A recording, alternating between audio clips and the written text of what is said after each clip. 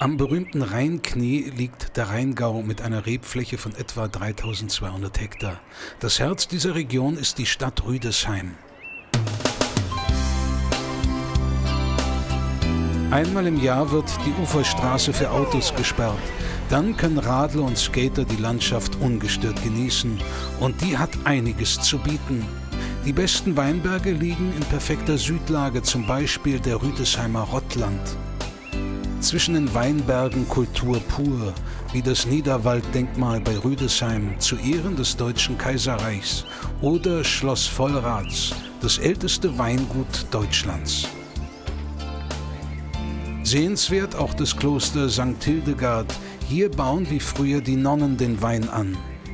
Weltbekannt ist der Johannesberg mit dem gleichnamigen Schloss. In den Kellern lagern Kostbarkeiten, die immer wieder für Höchstpreise sorgen. Manchmal geben die Menschen für alte Weine sehr viel Geld aus.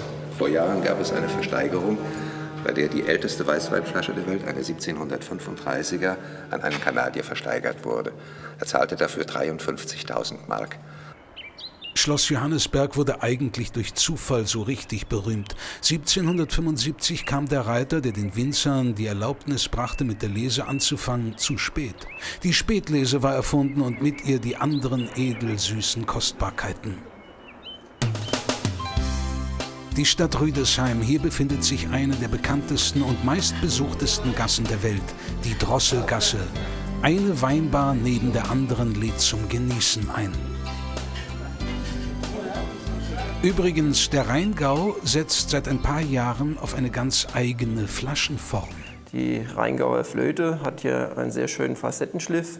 Die Weine, die in dieser Flasche abgefüllt werden dürfen, kommen ausschließlich aus dem Rheingau. Und wir sind äh, stolz, dass wir für unsere Region hier eine Gebietsflasche kreiert haben.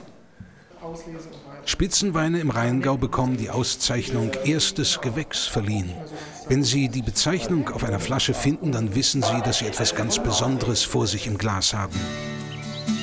Eine große Auswahl an Rebsorten dürfen Sie im Rheingau nicht erwarten, aber genau das ist auch seine Stärke. Hier dreht sich fast alles um den Riesling und der Rheingauer Riesling ist der beste, sagen die Rheingauer. Der beste Wein kommt aus Deutschland, besonders aus dem Rheingau.